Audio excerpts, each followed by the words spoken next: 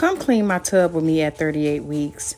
I am 38 weeks and on bed rest, and I I cannot. My bathroom was so dirty. I just had to clean it. I, it's only so much that I can allow my children to help me clean with. It's just so much that I can allow to. But it's so many people that be asking me for stuff and asking me for help. And I can't even get not a single soul to help me do anything. Everybody need me. But I can't need nobody. You know, and I've been on bed rest since I was 27 weeks. And everybody needed something. But couldn't nobody say, do you need anything? Couldn't nobody say, do you need me to come help clean anything? But everybody wants something.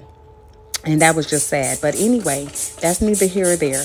I'm cleaning my own bathroom.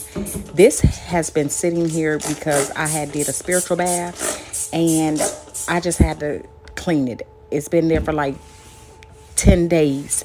And then I had to clean my I had to clean my window on my shower. It's just I have to do it.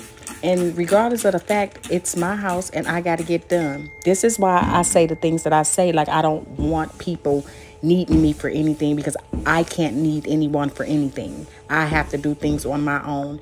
And that's just the way it goes, I guess.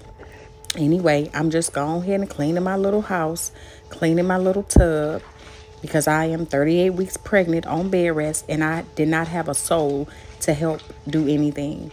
And it's okay because it's my house and it's my tub but I need everybody to keep that same energy once I have this baby. Because once I have this baby, I am not going to want to be bothered with nobody, especially the people that I've been helping, using me for whatever it is.